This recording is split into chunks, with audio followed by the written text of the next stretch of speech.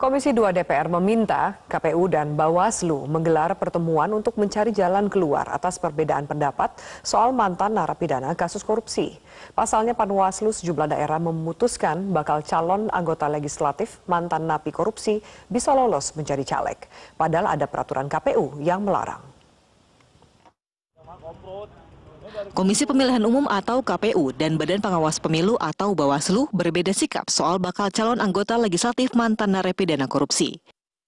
Beberapa minggu terakhir, Panwaslu di lima daerah meloloskan mantan napi korupsi menjadi caleg, padahal ada PKPU yang melarangnya. Ada perbedaan pandangan terhadap posisi peraturan KPU antara KPU dan Bawaslu.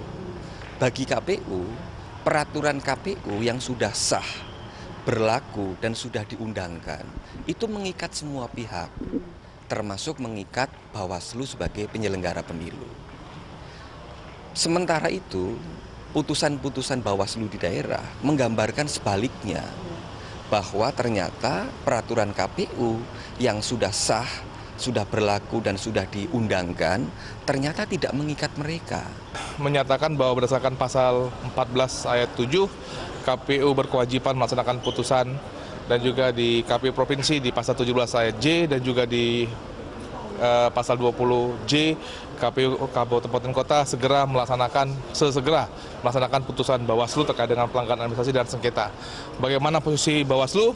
Dalam hal ini Bawaslu dalam bertindak sebagai adjudikasi, Bawaslu itu bertindak sebagai seorang hakim. Dan pada saat hakim selesai membacakan putusannya, itu kami serahkan kepada pihak-pihak yang wajib melaksanakannya. Baik KPU dan Bawaslu menyatakan bersedia untuk bertemu agar silang pendapat ini tidak menghambat tahapan pemilu yang telah dijadwalkan. Dari Jakarta, Nadia Atmaji, Niken Riwu, Metro TV. Wasekjen Partai Demokrat Andi Arief selaku pihak yang membongkar adanya dugaan mahar 1 triliun untuk PAN dan PKS menyesalkan sikap Bawaslu yang menghentikan kasus tersebut. Andi Arief menuding Bawaslu tidak serius dalam menangani kasus dugaan mahar 1 triliun rupiah itu. Melalui akun Twitternya, Andi Arief mengkritik kinerja Komisioner Bawaslu.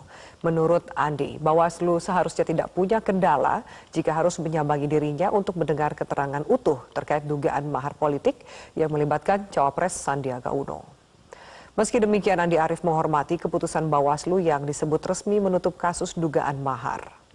Sebelumnya, Bawaslu memutuskan bahwa kasus dugaan mahar 1 triliun Sandiaga Uno tidak terbukti. Andi Arief yang merupakan saksi tidak hadir setelah Bawaslu memanggil dirinya sebanyak tiga kali. Ya, teman-teman bisa menilai sendirilah yang tidak serius mana, ya.